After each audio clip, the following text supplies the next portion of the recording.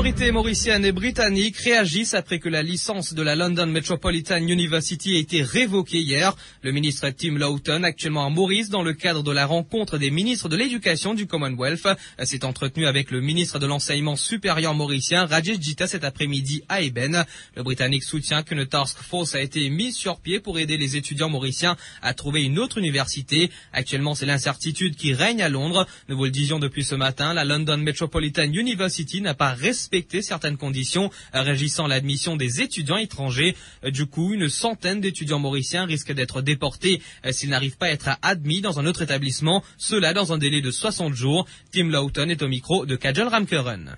I think what it's really important to uh, stress is that this is Ceci est très important et il faut souligner que la London Metropolitan University a fait l'objet d'une enquête il y a trois mois de cela. Les problèmes sont souvent les mêmes. Les documents des étudiants étrangers n'étaient pas en règle. On leur a demandé de régulariser cette situation, mais rien n'a été fait.